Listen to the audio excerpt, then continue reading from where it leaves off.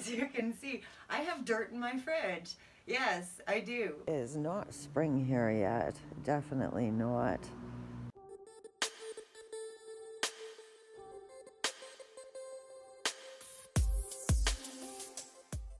Hi everybody, great to see you. It's Debbie. I'm getting ready for gardening season. I've been on the seed hunt. It's really cold here in Canada and I hope that you're all doing okay. Let me know in the comments down below what, what it's been like in your neck of the woods. We're gonna make gardening a lot easier with a few helpful tips. Now here's a tip for anybody who has to save dahlias over the winter. I've had problems in the past borrowing garages, trying to keep the temperature right. This year I got this brainstorm that I would use our guest suite fridge for the dahlias. And it's remarkable because I can keep the temperature set to exactly what I want so they, they don't freeze, they don't get too warm and start growing. So as you can see, I have dirt in my fridge. Yes, I do, but I'm a house cleaner for a living, so I will remedy this. So if you have bad hands like me, they're they're absolutely they're they're horrible. They're very dry. I'm a, a, house cleaner, I'm a gardener, everything is hard on my hands. I've tried every hand cream on the market, I can assure you, and uh, nothing seems to do quite as good as this wrinkle cream. Basically, they're better, they're better try it, a little bit of wrinkle cream on your hands. It'll maybe keep your hands from aging as well. I mean, our hands do a lot of work. Now this is where the magic happens. I'm really looking forward to seeing them all grow up. And I'm not going to show you how to plant seed trays. Easy peasy. Throw some dirt in, look at the package, and just do it. Just, you know, just do it. One thing I do want to show you though is that if you buy the boot trays that you would usually put your outer wear on, they're a lot stiffer and better for your seed trays. You can get them at the dollar store and you know they're easy to lift and carry because they're nice and stiff. A lot more waterproof, a lot more sturdy. They don't crack as easy. They'll last you years and years.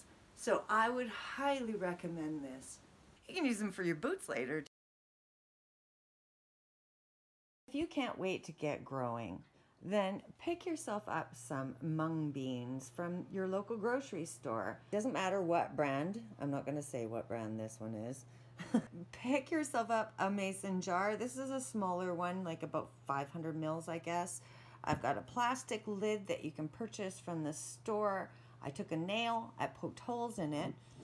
You only need two tablespoons of the beans in this size jar and then fill it up with water. Let it sit for about two hours and then drain off the water through the holes. Put it in a bright location. Doesn't have to be direct sun, just a bright location. Every day, rinse them. Leave them on the side like this so that you get more area for the beans to grow and also more sunlight into the jar or more light into the jar. Like I said, you don't need direct light. Very delicious, great for sandwiches, great for just eating straight out of the jar. I love them. And it takes just days for them to grow, literally. And you can keep on doing this all through the winter to provide yourself with a great little garden right on your kitchen counter. Seeds are so hard for me to pass by. And especially, like, look at these colors. Like, you know, this is vegetables and flowers. I'm going to have a huge flower garden that is going to be a cutting garden. Uh, it's going to, going to be in rows and um, I bought some stocks because they're very fragrant, beautiful for bouquets. Pansies are perfect for in the shade, so easy to grow, beautiful flowers. Statice, which is an incredible flower putting in bouquets for dried bouquets as well. Cylinder beets because everybody loves pickled beets and I really want to make some this year. Last year we got a great beet crop and we're still eating them. It's wonderful. The rainbow blend carrots. I really enjoy these. All of these ones are going to be started indoors and I can't wait to see the little green bits coming out of the pots. There's only one little itty bitty jalapeno pepper coming up, but um, I'm hopeful